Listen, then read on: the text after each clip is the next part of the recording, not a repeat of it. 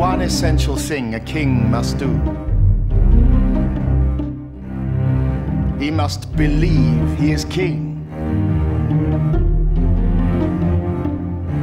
However, did you find this physician? Classified, next to Saucy Model, Shepherd's Market. Look, I'm not here to uh, discuss personal matters. Why are you here then? Well, because I bloody well stammer.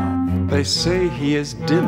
Runs in the family. Uh, hello, B-B-Bertie. B-B been waiting long. There is nothing physically wrong with you. Oh, it's all mental. Oh, well, there's no fixing that. Mad King George all over again. Why should I listen to a, a poor, stammering bloke who can't put one word in front of another? Why waste my time listening to you? Because I have a right to be heard. Heard as what? A man! I He needs more practice. Surely a royal prince's brain knows what his mouth is doing? Stride boldly up to the bloody thing. What are you afraid of? I don't think I can.